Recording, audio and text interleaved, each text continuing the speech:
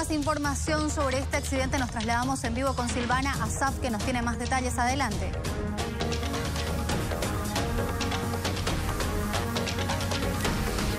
Tardes, nos encontramos en una clínica de integración del norte. En este lugar se encuentran internados algunos de los soldaditos que resultaron heridos luego de un hecho de tránsito protagonizado aparentemente por un sujeto en completo estado de ebriedad. Vamos a conversar con una de las víctimas, una de las personas que afortunadamente no reviste gravedad. Muy buenas tardes, por favor. Gracias por su tiempo. ¿Puedes relatarnos qué fue lo que sucedió?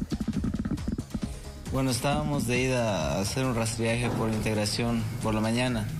Estamos subiéndonos a una camioneta, yo y mis camaradas, en la camioneta de mi mayor. Y mientras estábamos cruzando por una avenida, eh, a muy alta velocidad vino esa, esa movilidad y directamente nos invistió, digamos. Ya en ese momento nosotros no, no reaccionamos rápido ni nada, de golpe fue. ¿Cuántas personas venían en el vehículo en el que usted estaba?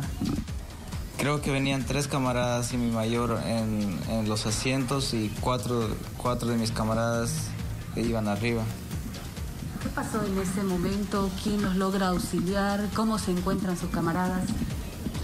Ya, por suerte, gracias a las personas que estaban ahí y la, y la rapidez también de, de la ambulancia y demás, ya lograron llevar, digamos, a distintas clínicas y hospitales a a mis camaradas que estaban más graves y a mí y a mi camarada que está al lado.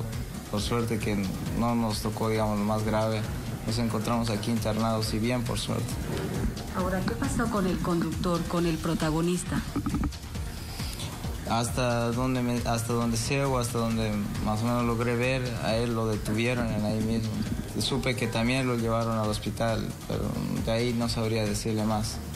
Perfecto, le agradecemos por su deseamos que se recupere. Este es el informe que tenemos desde esta clínica donde se encuentran internadas estas personas. Entre tanto, la Policía de Tránsito del municipio de Guarnes y Satélite Norte está encargada de esta investigación.